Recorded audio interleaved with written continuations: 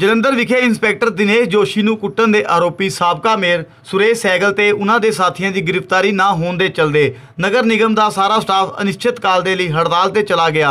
ਇਸ ਮੌਕੇ ਤੇ ਸਾਰੇ ਅਧਿਕਾਰੀਆਂ ਨੇ ਮਾਰਕੀਟ ਦੀ ਘਟਨਾ ਨੂੰ ਨਿੰਦਾਯੋਗ ਦੱਸਦੇ ਹੋਏ ਕਿਹਾ ਕਿ ਅਜਿਹੇ ਵਿੱਚ ਨਿਗਮ ਦਾ ਫੀਲਡ ਸਟਾਫ ਡਿਊਟੀ ਨਹੀਂ ਕਰ ਸਕਦਾ। ਅਫਸਰਾਂ ਨੇ ਹੜਤਾਲ ਕੀਤੀ ਹੋਈ ਹੈ ਪਿਛਲੇ ਦਿਨ ਜਿਹੜੇ ਤੁਸੀਂ ਦੇਖੀਏ ਵੀਡੀਓ ਅਫਸਰ ਦੇ ਉੱਤੇ ਹੱਥ ਚੱਕਿਆ ਗਿਆ। ਉਸ ਦੇ ਬਾਰੇ ਕੀ ਕਹਿਣਾ? ਮੈਂ ਵੀਡੀਓ ਨੂੰ ਦੇਖੀ, ਮੈਂ ਅਖਬਾਰਾਂ 'ਚ ਪੜ੍ਹਿਆ ਕਿ ਸਾਡੇ ਪੁਰਾਣੇ ਮੇਅਰ ਜਿਹੜੇ ਆ, ਸੁਰੇਸ਼ ਸਹਿਗਲ ਜੀ, ਉਹਨਾਂ ਨਾਲ ਅਨਬਨ ਕੋਈ ਹੋਈ ਹੈ ਰਿਗਾਰਡਿੰਗ ਕੋਈ ਬਿਲਡਿੰਗ ਕੰਸਟਰਕਸ਼ਨ ਕੋਈ ਇਹ ਕਹਿੰਦੇ ਇਲੀਗਲ ਬਾਣੀ ਇਨਕੋਚਮੈਂਟ ਹੋ ਰਹੀ ਹੈ। ਉਹਦੇ ਬਾਰੇ ਮੈਂ ਰਿਪੋਰਟ ਮੰਗਾਈ ਹੁਣ ਤੇ ਨਾਲੇ ਬਿਲਡਿੰਗ ਬਾਰੇ ਅਸੀਂ ਮੀਟਿੰਗ ਮੈਂ ਤੇ ਕਮਿਸ਼ਨਰ ਸਾਹਿਬ ਮੀਟਿੰਗ ਕਰਨ ਜਾ ਰਹੇ ਹਾਂ। ਉਹਨਾਂ ਦੀ ਕੀ ਸਮੱਸਿਆ ਹੈਗੀ ਹੈ? ਜੇ ਉਹਨਾਂ ਜਨਰਲ ਸਮੱਸਿਆ ਤੋਂ ਉੱਥੇ ਜ਼ਰੂਰ ਕਾਰਵਾਈ ਹੋਏਗੀ। ਅਸੀਂ ਇਹਨਾਂ ਨੇ ਹੁਣੇ ਮੀਟਿੰਗ ਕਰਕੇ ਜੋ ਉਹਨਾਂ ਦੀ ਮੰਗ, ਜਿਹੜੀ ਜਾਇਜ਼ ਮੰਗ ਹੋਏਗੀ, ਉਹ ਬਿਲਕੁਲ ਮੰਨੀ ਜਾਏਗੀ।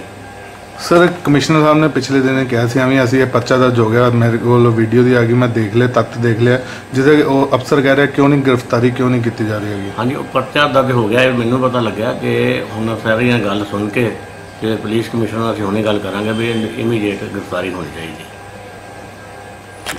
ਸਰ ਇਸ ਤਰ੍ਹਾਂ ਵੀ ਅਸੀਂ ਕਲੀਅਰ ਕੱਟ ਜਿਹਾ ਮੈਸੇਜ ਦਿੱਤਾ ਤੇ ਪਹਿਲਾਂ ਉਹਨਾਂ ਨੇ ਦਿਨੇਸ਼ ਜੋਸ਼ੀ ਜਿਹਦੇ ਨਾਲ ਇਨਸੀਡੈਂਟ ਹੋਇਆ ਸੁਰੇਸ਼ ਸਹਿਗਲ ਵੱਲੋਂ ਬੜੀ ਬਦਤਮੀਜ਼ੀ ਦੇ ਨਾਲ ਜਿਹੜਾ ਕੰਮ ਕੀਤਾ ਗਿਆ ਦਿਨੇਸ਼ ਜੋਸ਼ੀ ਇੰਸਪੈਕਟਰ ਦੇ ਨਾਲ, ਉਹਦੀ ਮਾਰਕੁੱਟ ਕੀਤੀ ਗਈ ਆ ਤੇ ਉਹਨਾਂ ਨੇ ਕਾਨੂੰਨ ਨੂੰ ਆਪਣੇ ਹੱਥ 'ਚ ਲਿਆ। ਅਸੀਂ ਕਲੀਅਰ ਕੱਟ ਇਹ ਕਿਹਾ ਵੀ ਉਹਨਾਂ ਨੂੰ ਅਰੈਸਟ ਤੁਰੰਤ ਅਰੈਸਟ ਕੀਤਾ ਜਾਵੇ ਤੇ ਜਦ ਤੱਕ ਉਹ ਅਰੈਸਟ ਨਹੀਂ ਹੁੰਦੇ, ਸਾਡੇ ਕਾਰਪੋਰੇਸ਼ਨ ਵੱਲੋਂ ਸਾਰੀ ਟੋਟਲ ਅਸੀਂ ਸਟ੍ਰਾਈਕ ਤੇ ਰਹਿਣਾ।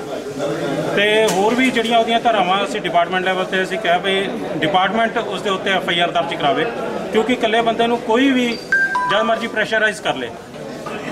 ਤੇ ਡਿਪਾਰਟਮੈਂਟ ਉਹਨੂੰ ਪਰਸਿਊ ਕਰੇਗਾ ਸਾਰੀਆਂ ਤੇ ਨਾਲ ਕੁਝ ਹੋਰ ਧਾਰਾਵਾਂ ਜਿਹੜੀਆਂ ਐਡ ਕਰਨ ਨੂੰ ਅਸੀਂ ਬੇਨਤੀ ਕੀਤੀ। ਸਰ ਤੁਹਾਡੇ ਕਰਮਚਾਰੀ ਵੱਲੋਂ ਜਦੋਂ ਮੀਡੀਆ ਅੰਦਰ ਗਈ ਹੈ ਤਾਂ ਤੁਹਾਡੇ ਕਰਮਚਾਰੀ ਵੱਲੋਂ ਬਾਹਰ ਕੱਢਿਆ ਗਿਆ ਅਫਸਰ ਵੱਲੋਂ ਮੀਡੀਆ ਨੂੰ।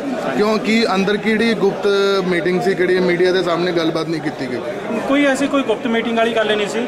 ਉਹਦੇ ਵਿੱਚ ਕੀ ਆ ਕਈ ਵਾਰ ਐਫ ਆਈ ਆਰ ਆਲਰੇਡੀ ਇੱਕ ਇਸ ਦੇ ਵੱਲੋਂ ਹੋਈ ਵੀ ਹੈ ਲਾਂਚ ਹੋਈ ਵੀ ਆ।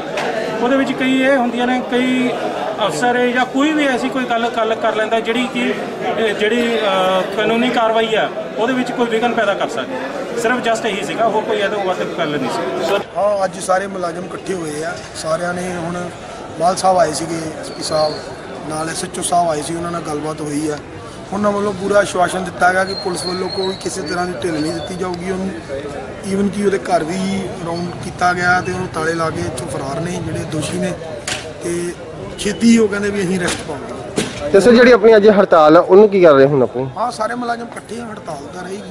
ਹੜਤਾਲ ਰਹੇਗੀ ਉਹਦਾ ਆਸ਼ਵਾਸਨ ਦੇ ਬਾਵਜੂਦ ਹੀ ਹੜਤਾਲ ਜਾਰੀ ਰਹੇਗੀ। ਸਾਡਾ ਕੋਈ ਪੁਲਿਸ ਪ੍ਰਸ਼ਾਸਨ ਨਾਲ ਨਹੀਂ ਰੋਸ ਹੈਗਾ।